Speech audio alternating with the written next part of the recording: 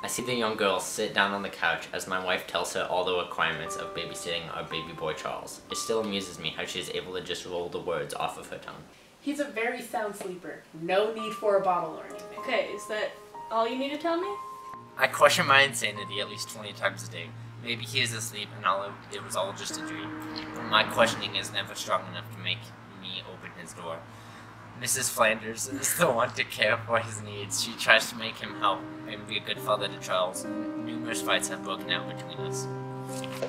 You're a terrible father! I'm the best father ever. I take care of him when you are getting drunk. I take care of our child. I'm a better father than yours was.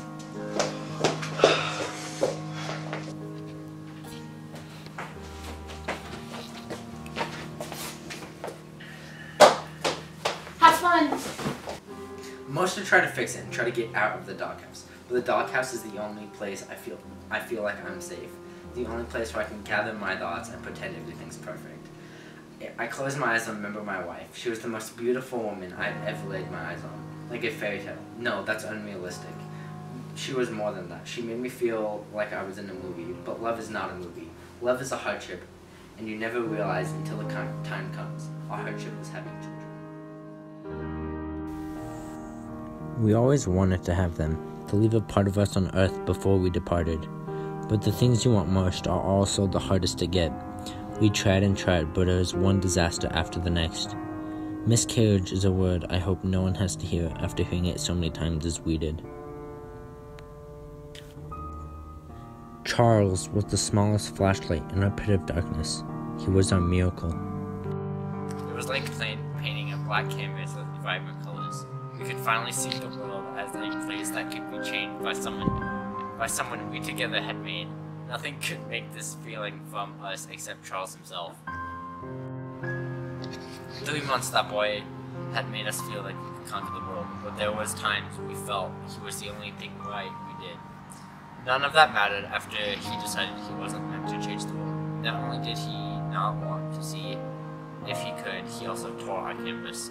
The canvas that changed our life completely had been ripped to shreds as we fell back into the pit. No light, just darkness.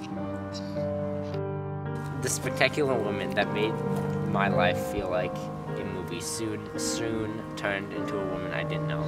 It was like a drive-by had occurred in her life and there was nothing left to do but just accept the fate that she had chosen.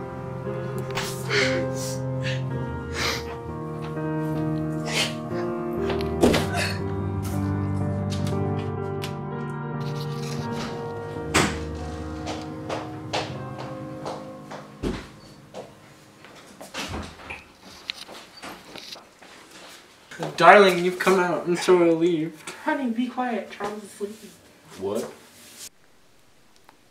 She firmly grabbed my hand and brought me to this to his room.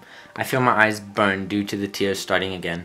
She pats my hand as a way to comfort me. We reach his crib, that was in the corner with white shearing hanging over it.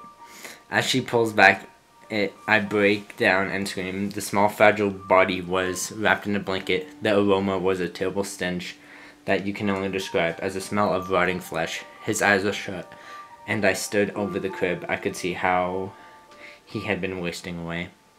He's a sound sleeper.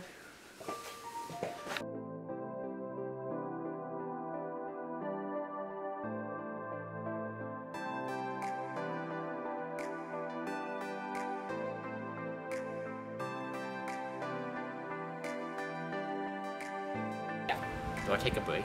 No. Well, you could pause for like five seconds. Hello, darkness, my old friend.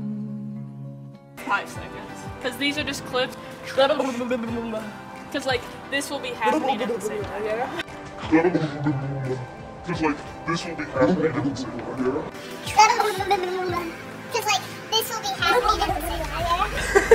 Sure. sure.